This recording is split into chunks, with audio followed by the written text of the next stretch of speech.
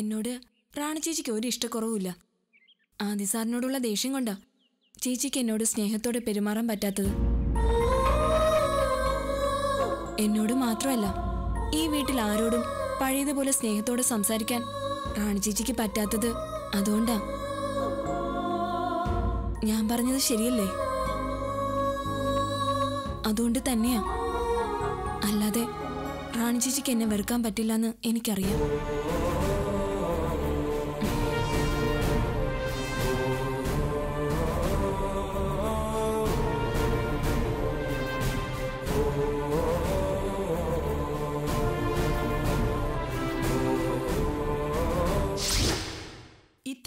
സരോജിനിയെ തിരിഞ്ഞു നോക്കാത്ത മകനെന്താ? ഇപ്പൊ അമ്മയോടൊരു സ്നേഹം. സ്നേഹം എപ്പോഴാ വരിക എന്ന് പറയാൻ പറ്റില്ലല്ലോ. എന്തായാലും സരോജിനിയെ കൊണ്ട് അവരുടെ മകൻ എന്തെങ്കിലും കാര്യം കാണും. ഹോ മകനെ കാണുമ്പോഴേക്കും എന്തായിരിക്കും അഹങ്കാരം? അയ്യോ. മലയുടെ മുഖത്തെന്താ ഒരു ചിരി? ഏട്ടനും ചിരിക്കാൻ ചിരിക്കാനൊരു വകയുണ്ട്. എന്താ? ഇപ്പൊ എല്ലാവർക്കും ഒരു ഫാൻസി ഡ്രസ് കാണാം. ഫാൻസി ഡ്രസ് ആ സരോജിനി അണിഞ്ഞൊരുങ്ങി വരുന്നുണ്ട്. മകനാ അമ്മയുടെ മേക്കപ്പ് മാൻ അങ്ങനെ ഒരു വേഷത്തിൽ സരോജിനി സ്വപ്നത്തിൽ പോലും കാണാൻ പറ്റില്ല. അത്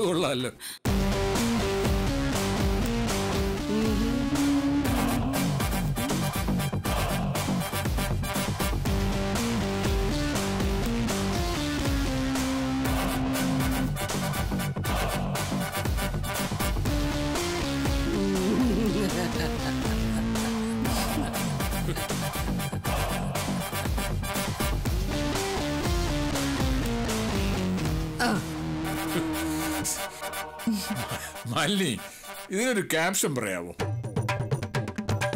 ഏട്ടൻ പറ. ഞാൻ പറയട്ടെ. അന്ധയായ അമ്മയും ഒരന്തവും കുന്തവും ഇല്ലാത്ത മകനും.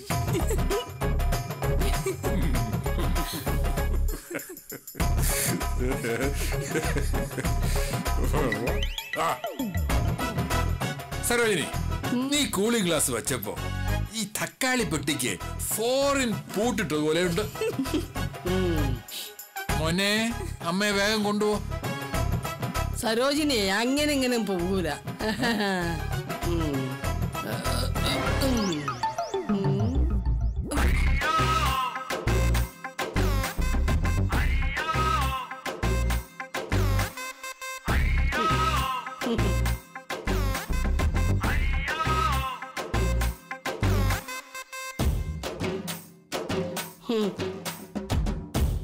ക്യാപ്റ്റൻ ആണ് പോലും ക്യാപ്റ്റൻ എവിടുത്തെ ക്യാപ്റ്റൻ.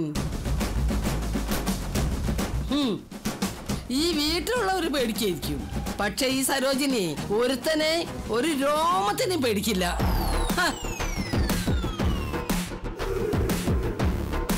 ഇയാൾ ഈ വീട്ടിലെ തലമൂത്ത ആളാണെങ്കിൽ ഇവിടെയുള്ളവരോട് കളിച്ചാൽ മതി. സരോജിനിയെ വരട്ടാൻ വന്നാലേ എന്റെ മോനുണ്ടല്ലോ. ചവിട്ടി കൂട്ടി കളയും.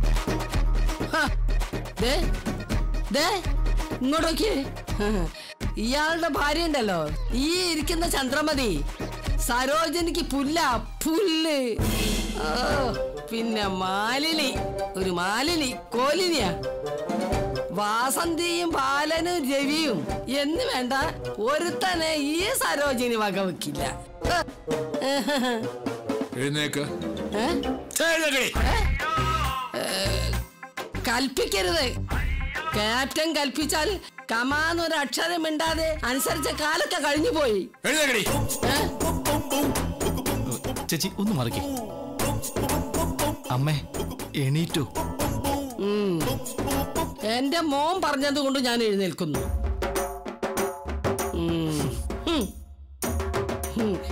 കൗസ്തുഭത്തിലെ ക്യാപ്റ്റാ.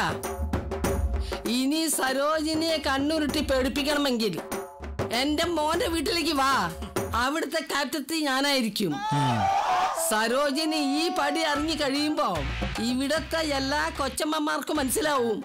സരോജിനി ആയിരുന്നു ഈ വീട്ടിന്റെ ഐശ്വര്യം ഇവിടെ അനർത്ഥം വരാൻ പോവാണ്. അത് തടയണമെങ്കിൽ ഈ സരോജിനിയുടെ ഒരു ഫോട്ടോ എടുത്ത് ചുമരിൽ തൂക്കിക്കോ. എന്നിട്ട് ഈ വീടിന്റെ ഐശ്വര്യം സരോജിനിയായ നമ എന്ന് എഴുതി വെച്ചോ. വിളിച്ചോണ്ട് പോ. ഇറങ്ങാം. മോളെ ചന്ദ്രമതി മാലിനി സരോജിനി അടുത്തി വരട്ടെ.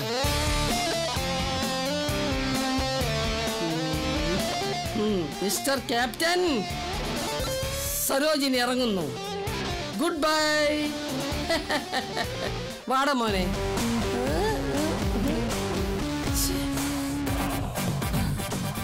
സാറേ കാര്യം അവർ എന്റെ അമ്മയൊക്കെ തന്നെയാ. നന്ദിയില്ലാത്ത സ്ത്രീയാ. തിരിച്ചു വന്നാ ജോലി കൊടുക്കണേ.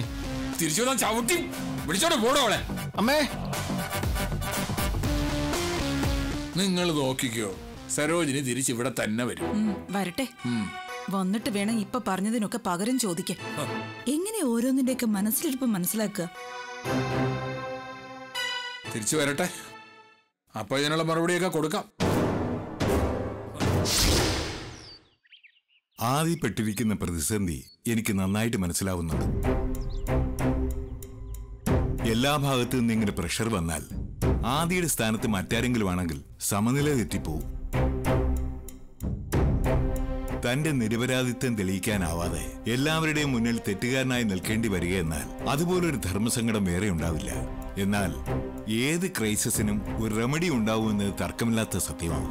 അതെന്താണെന്ന് കണ്ടെത്തുകയാണ് വേണ്ടത്. അല്ലാതെ പ്രശ്നത്തിൽ നിന്ന് ഒളിച്ചോടാൻ ലിക്കറിന് അഭയം പ്രാപിക്കുന്നത് ഒരുതരം എസ്കേപ്പിസമാണ്. അതാണ് ആദ്യ ഇന്നലെ കാണിച്ചത്. അതിനോട് എനിക്കൊരിക്കലും യോജിക്കാൻ പറ്റില്ല. ഒറ്റ നേരത്തെ മദ്യപാനം കൊണ്ട് ആദ്യ ആരുടെയൊക്കെ മുന്നിൽ ചെറുതാവേണ്ടി വന്നു?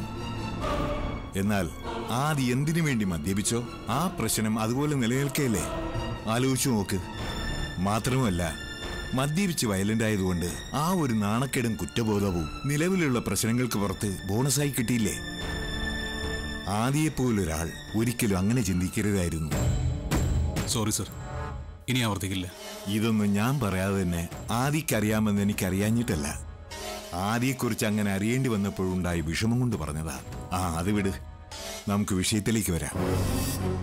ആദി പറഞ്ഞത് വെച്ച് നോക്കുമ്പോ ഓരോ ദിവസം കഴിയുന്തോറും കസ്തൂരി ആദിത്യന്റെ ജീവിതത്തിൽ വലിയ തലവേദന ആയിക്കൊണ്ടിരിക്കുക ഇപ്പോ മാസി കസ്തൂരിക്ക് ഒരു അച്ഛനെ കൂടി തന്നതോടെ ആദി കൂടുതൽ പ്രതിസന്ധിയിലായി. ഇനി ഒന്നും എടുത്തിയാടി ചെയ്യാൻ പറ്റില്ല. ഈ കാര്യം എങ്ങനെയെങ്കിലും ലീക്കായാൽ നാളെ ഏതൊരു വാർത്തയാ. അതോടെ അത് ആദിയുടെ കരിയറിനെ ബാധിക്കും. സകല ഇമേജും പോവും. ഇതൊരു പെൺകുട്ടിയുമായി ബന്ധപ്പെട്ട കാര്യമായതുകൊണ്ട് എല്ലാവരും പെൺകുട്ടിയുടെ പക്ഷത്തേ ഉണ്ടാവും. അതൊക്കെ എന്നെ ഭയപ്പെടുത്തുന്ന കാര്യങ്ങൾ തന്നെയാ. ഞാനിപ്പോൾ പബ്ലിക്കിനേക്കാളും ഭയപ്പെടുന്നത് എന്റെ ഫാമിലിയെ. നാട്ടുകാരുടെ മുമ്പിൽ കുറ്റാരോപിതനായാൽ നമ്മളെ ആശ്വസിപ്പിക്കാൻ കുടുംബം ഉണ്ടാവും. കുടുംബത്തിന് മുന്നിൽ കുറ്റക്കാരനായ പിന്നെ ജീവിച്ചിരിക്കാൻ പറ്റില്ല. ഞാൻ മനസ്സിലാക്കിയെടുത്തോളം ആദിക്കിന് ഒരു വഴിയേ ഉള്ളൂ. ഏത് സമയം ആദിയെ തേടി വരാവുന്ന മാസിയെ പ്രതിരോധിക്കണമെങ്കിൽ കസ്തൂരി ആദിയോടൊപ്പം നിൽക്കണം. അവൾ എനിക്ക് വേണ്ടി മരിക്കാനും തയ്യാറാവും. അത്രയ്ക്ക് പാവം കുട്ടിയാ. എന്റെ ഭാര്യയായിട്ട് അവളുടെ നാട്ടിൽ നിന്ന് എന്റെ കൂടെ വന്ന് എന്റെ ആരുമല്ലാതെ ജീവിക്കണമെങ്കിൽ അവൾക്ക് മാത്രമേ പറ്റൂ. അവൾ എന്റെ കൂടെ നിൽക്കും സർ. അങ്ങനെ നിന്നാ പോരാ. മാസി വരുമ്പോ മാസിക്ക് മുമ്പിൽ നിന്ന് ആദിക്ക് വേണ്ടി അവൾ സംസാരിക്കണം. വേണ്ടി വന്നാൽ നിനക്ക് വേണ്ടി മാസിയെ തള്ളിപ്പറയാൻ വരെ അവൾ തയ്യാറാവും അത് മാസി അവളെ തള്ളി പറയുമെന്ന് എനിക്ക് സംശയ. മാസിയുടെ മുന്നിൽ നിനക്ക് വേണ്ടി നിന്റെ ഭാര്യയായിട്ടാണ് ജീവിക്കുന്നതെന്ന് കള്ളം പറഞ്ഞില്ലേ? അതുകൊണ്ട് നല്ല പോലെ അവൾക്കുള്ള സ്നേഹവും കരുതലും നീ കൊടുത്താൽ നിന്റെ പേരിൽ മാസി എന്ത് അലിഗേഷൻ കൊണ്ടുവന്നാലും നിന്നെ പ്രൊട്ടക്ട് ചെയ്യാൻ അവൾ ഉണ്ടാവും. അവൾ പറയുന്നത് ലോകം വിശ്വസിക്കൂ. അതുകൊണ്ട് അവളെ ഒരിക്കലും വേദനിപ്പിക്കാതെ കൂടെ നിർത്തി പഠിപ്പിക്കുക. അവളുടെ സ്വപ്നം പോലെ എം ബി ബി എസിന് പറഞ്ഞു വിടുക. എന്ത് വിഷമം വന്നാലും റാണിയോട് തട്ടിക്കയറാതെ സ്നേഹത്തിൽ പെരുമാറുക. കസ്തൂരി എൻട്രൻസ് എഴുതിയെടുക്കട്ടെ. പിന്നെ എന്താ വേണ്ടതെന്ന് ഞാൻ പറഞ്ഞുതരാം. ഒരു പത്രം നമ്മുടെ കയ്യിൽ ഇല്ല ആദി? അവസരം വരുമ്പോ ന്യൂസ് ഇന്ത്യയുടെ എഡിറ്റർ തന്നെ കസ്തൂരി ഇന്റർവ്യൂ ചെയ്യും. അത് പുറത്തു വരുമ്പോ എല്ലാം ലോകം അറിയും. ആർക്കും ആദിയെയും കസ്തൂരിയെയും കുറ്റപ്പെടുത്താൻ പറ്റാത്ത വിധം ആ ഇന്റർവ്യൂ ഞാൻ ചെയ്യും. അത് പുറത്തു വരുമ്പോ നിന്റെ റാണി വരെ നിന്നെ സംശയിച്ചതിൽ നിന്നോട് സോറി പറയും. നീ ധൈര്യമായിട്ട് നിൽക്ക്. കസ്തൂരി എൻട്രൻസ് എഴുതിയെടുക്കുന്നത് വരെ ആർക്കും ഒരു പിടിയും കൊടുക്കാതെ കൊണ്ടുപോവുക. അതിലാ നിന്റെ സാമർഥ്യം കാണിക്കേണ്ടത്. നീ ചെല്ല്. ആദ്യം വീട്ടുകാരെ കാണ് അവരോട് സോറി പറ. തെറ്റേറ്റു പറയലാണ് ഏറ്റവും വലിയ പ്രായശിത്വം ആദ്യ ചെല്ല്. All the best thank you sir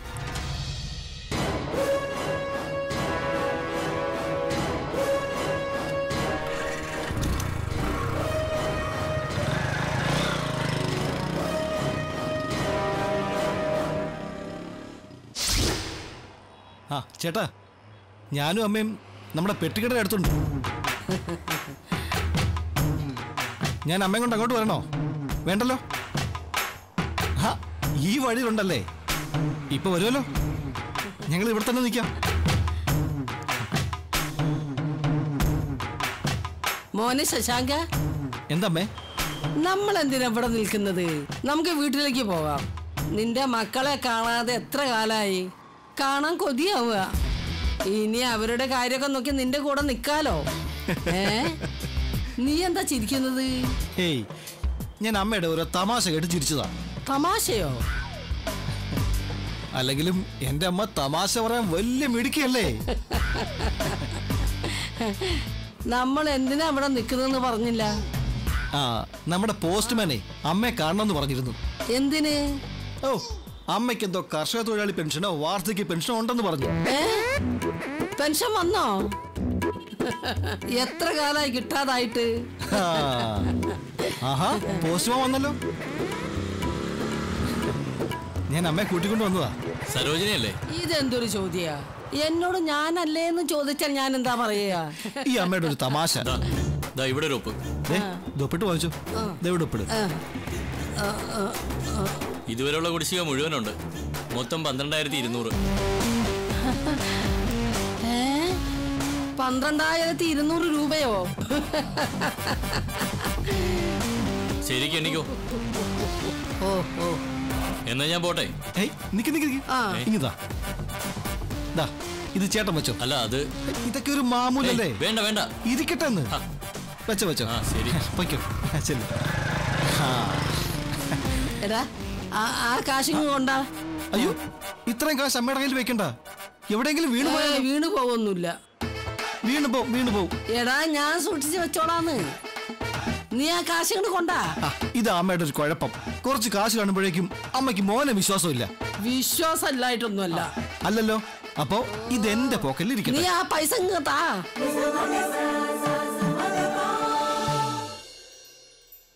വിശ്വാസമില്ലായിട്ടൊന്നുമല്ല. അല്ലല്ലോ. അപ്പോ ഇത് എന്റെ പോക്കറ്റിൽ ഇരിക്കട്ടെ നീ ആ പൈസ അമ്മയ്ക്ക് താ. ദേ അമ്മയ്ക്ക് വല്ലാത്ത ക്ഷീണമുണ്ട്. എനിക്കോ? ആ. അമ്മ വന്നേ.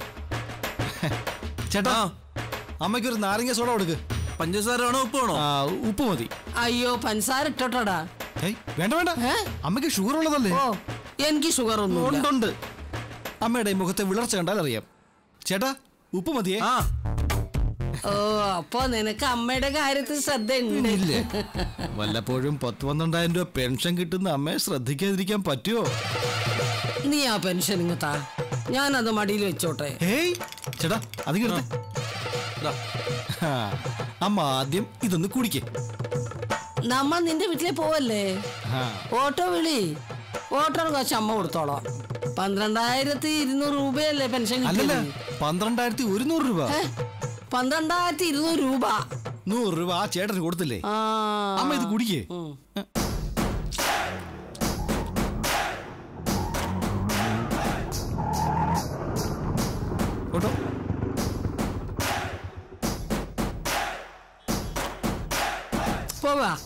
ആ പോവാണ്. ഇതാ ഇത് അമ്മ വെച്ചോ. വീട്ടിലേക്കല്ലേ നമ്മൾ? അമ്മയുടെ ഒരു തമാശ. അമ്മ ഇങ്ങോട്ട് കൊണ്ട് വീട്ടിൽ ചെന്നാലേ എന്റെ ഷീജ എന്നെ പോലും വീട്ടിൽ കയറ്റുവോ? പിന്നെ നീ എന്തിനാ എന്നെ അവിടുന്ന് കൂട്ടി കൊണ്ടുവന്നത്? പെൻഷൻ വാങ്ങാൻ. അപ്പൊ നീ എന്നെ വീട്ടിലേക്ക് കൊണ്ടുപോണില്ലേ? ഇപ്പൊ ഞാൻ കൊണ്ടുപോകുന്നില്ല. ശശാങ്ക. ഞാനും ഷീജയും മക്കളും സമാധാനത്തോടെ കഴിയുന്നത്. ദയവ് ചെയ്ത് അങ്ങോട്ട് വന്ന് ഞങ്ങളുടെ കുടുംബം കലക്കണമെന്ന് വാശി പിടിക്കരുത്. എങ്കിൽ നീ എന്റെ കാശ് താടാ. അതാ വെച്ചോ. ഏ? നൂറ് രൂപയോ?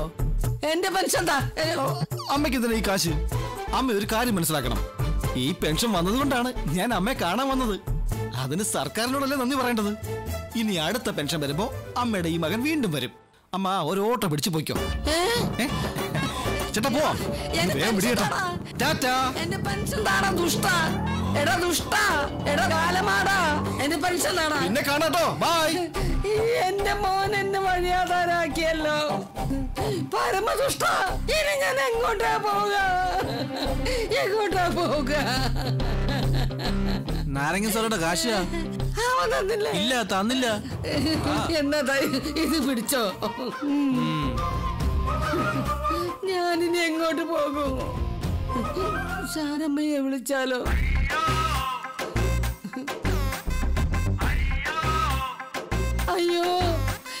ചാർജ് ഇല്ലേ? മകൻ പെൻഷനും കൊണ്ടുപോയി. അമ്മ പെരുവഴിയിലുമായി. അയ്യോ. മോളെ നീ ഇന്ന് വരെ കേൾക്കുകയോ കാണുകയോ ചെയ്യാത്ത പണിയില്ലേ രാധാമണി കൊച്ചമ്മ ചെയ്തത്? താലി അഴിച്ചു വെക്കുക. എത്ര ബുദ്ധിപരമായ നീക്കമാണത്. ആരെങ്കിലും പ്രതീക്ഷിച്ചോ അത്? ഇല്ല പ്രതീക്ഷിക്കില്ല. കാരണം ഇതാരുടെ ബുദ്ധിയാ? എന്റെ ബുദ്ധിയാ. ഞാനാ ഈ ഐഡിയ പറഞ്ഞു കൊടുത്തത്. അല്ലാതെ രാധാമണി കൊച്ചമ്മയ്ക്ക് ഇങ്ങനെയൊക്കെ ചിന്തിക്കാൻ പറ്റോ? അപ്പോ അമ്മയാണല്ലേ ഇതിന്റെയൊക്കെ പിന്നിൽ അതെ ശാരമ്മ ഈ ശാരമ്മ.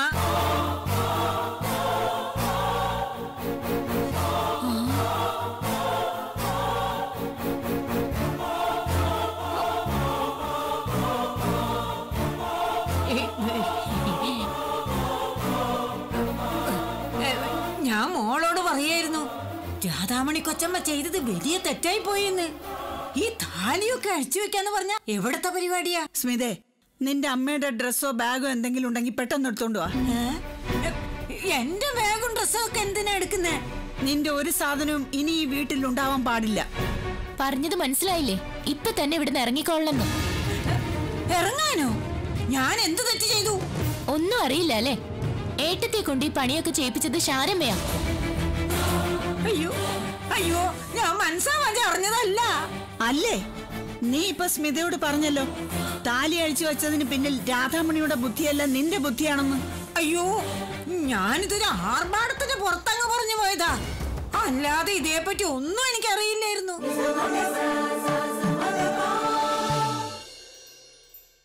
ഞാനിതൊരു ആർഭാടത്തിന്റെ പുറത്തങ്ങ് പറഞ്ഞു പോയതാ. അല്ലാതെ ഇതേപ്പറ്റി ഒന്നും എനിക്കറിയില്ലായിരുന്നു. പച്ചക്കള്ളം പറയരുത്. ഏട്ടത്തിക്ക് നാളെ സമയമൊക്കെ കുറിച്ചു കൊടുത്തതും വഴിപാടുകൾ ചീട്ടാക്കിയതും ഒക്കെ നിങ്ങളല്ലേ? നിങ്ങൾ ഏട്ടത്തിയോട് സംസാരിക്കുന്നത് ഞാൻ കേട്ടതാ. അതൊക്കെ ശരിയാ. പക്ഷേ ഈ താലി അഴിച്ചു വെക്കുന്ന ബുദ്ധി ഞാൻ ഉപദേശിച്ചതല്ല. സത്യമായിട്ട് എന്നെ ഒന്ന് വിശ്വസിക്കണം. നിന്നെ എന്നെ വിശ്വസിക്കില്ല. നീ നാവെടുത്ത കള്ളമേ പറയൂ. കാഷായും ധരിച്ച് നടക്കുന്നു മറ്റുള്ളവരെ പറയിപ്പിക്കാൻ. സ്മിതേ അത് അമ്മയുടെ കയ്യിലേക്ക് കൊടുത്തേ. ഇത് വാങ്ങി സ്ഥലം വിട്ടോ. വാങ്ങാൻ. ഞാനിത് വാങ്ങണെങ്കിൽ എനിക്ക് രാധാമണി കൊച്ചമ്മയൊന്ന് കാണണം. ഏട്ടത്തി ഒന്നും ഇവിടെ ഇല്ല. ഇന്ന് ഈ നിമിഷം നിങ്ങൾ ഇവിടെ നിന്ന് ഇറങ്ങിക്കൊള്ളണം. നിന്റെ ബാഗും വാങ്ങി പോവാനല്ലേ പറഞ്ഞേ? സ്മിത അതങ്ങ് കൊടുത്തേ. അമ്മ ഇതങ്ങ് വാങ്ങ്. ഞാൻ എങ്ങോട്ട് പോകും? എങ്ങോട്ട് പോയാലും വേണ്ടില്ല. ഇനി ഒരു നിമിഷം ഇവിടെ നിൽക്കരുത് അമ്മ ഇത് വാങ്ങുന്നുണ്ടോ? മോളെ നീയും അമ്മയെ പറഞ്ഞു വിടണോ അമ്മ ഏതെങ്കിലും ക്ഷേത്രത്തിൽ പോയി ഭജന ഇരിക്കും. അതാ നല്ലത്. ദേ ഇത് പിടിക്ക്. എനിക്ക് വേറെ ജോലിയുണ്ട്. വേഗം സ്ഥലം വിട്ടോ. ഒരു പുനർവിചാരം ഉണ്ടാവോ? ഇല്ല. ശാരമേ ഇനി ഇവിടെ നിർത്തുന്ന പ്രശ്നമില്ല. പൊയ്ക്കോ. ഇനിയും പറയണോ? ഇറങ്ങിക്കോ വേഗം. പോയാലും ശാരമ്മ തിരിച്ചു വരും. തിരിച്ചു വന്നാലും നിന്നെ ഇനി ഇവിടെ കയറ്റില്ല. കാണോ?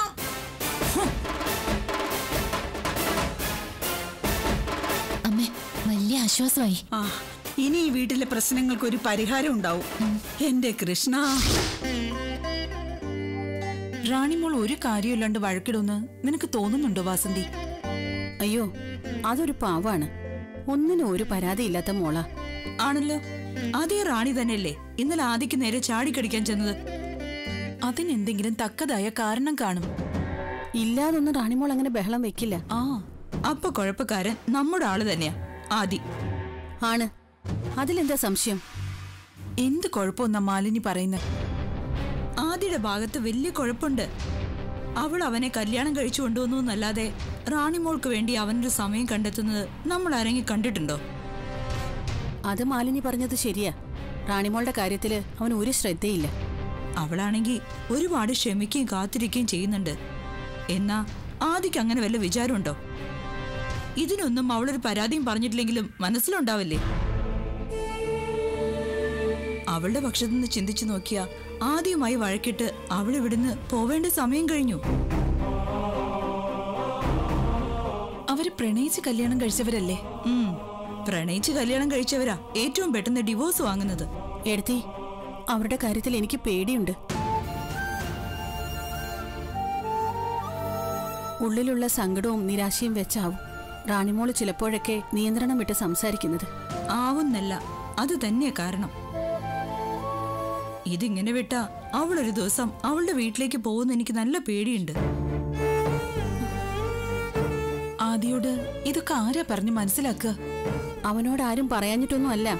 നമ്മൾ എന്തെങ്കിലും പറഞ്ഞാൽ തന്നെ ഒരു ചെവി കൂടെ കേട്ട് മറു ചെവി കൂടെ വിട്ടുകളയും അല്ലെങ്കിലും ഇതൊക്കെ ആരെങ്കിലും പറഞ്ഞു കൊടുക്കേണ്ട കാര്യമാണോ? തന്റെ കൂടെ ജീവിക്കാൻ വന്നവൾക്ക് സ്നേഹവും കരുതലും കൊടുക്കണമെന്ന് അവന് തന്നെ തോന്നേണ്ടതല്ലേ? പറഞ്ഞു കേട്ടിട്ട് ഇതിനൊരു പരിഹാരം കണ്ടില്ലെങ്കിൽ അവരുടെ ജീവിതത്തിൽ ഒരു സന്തോഷവും ഉണ്ടാവില്ലല്ലോ.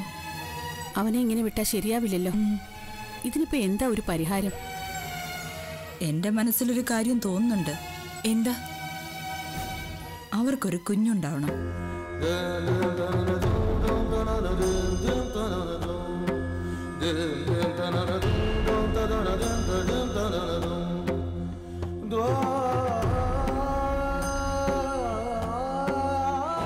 ഇനി ഒരുപാട് കാത്തിരിക്കാതെ ആദി സാറിന്റെ ഒരു കുഞ്ഞിനെ തരാൻ റാണി ചേച്ചിയോട് മോൾ പറയണം. നിങ്ങളുടെ ഈ ശ്രമം കൊണ്ട് റാണിയെ കൊണ്ടൊരു കുഞ്ഞിനെ കുറിച്ച് ചിന്തിപ്പിക്കാൻ പറ്റിയില്ലെങ്കിലും കസ്തൂരിയിൽ അങ്ങനെ ഒരു മോഹം ഉണ്ടാക്കാൻ പറ്റി നിന്റെ റാണി ചേച്ചി ആദ്യേട്ടന്റെ കുഞ്ഞിനെ പ്രസവിക്കുന്നതിൽ നിനക്കെന്താ ഒരു സങ്കടം?